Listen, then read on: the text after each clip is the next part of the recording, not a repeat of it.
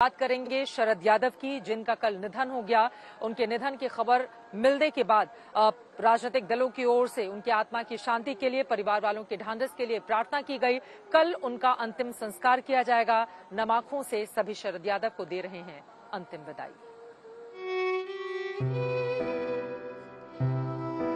एक दिल का दौरा आया और वो शरद जी ने हमेशा जनता के मुद्दे उठाए पिछड़ों के मुद्दे उठाए।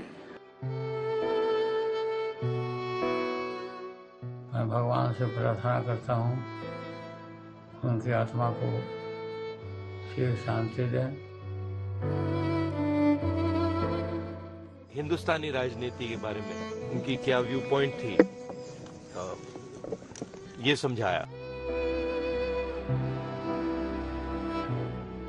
ये एकमात्र ऐसे नेता हैं जो तीन तीन प्रदेशों से लोकसभा का चुनाव जीत करके पार्लियामेंट में गए।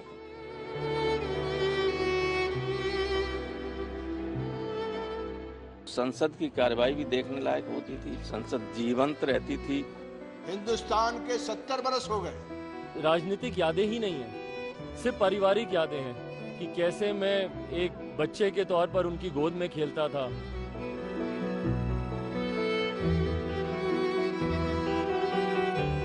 सभी लोग दुखी हैं, मरमाहत हैं। और हम लोगों की कोशिश होगी कि उनके राह पर हम लोग चलें।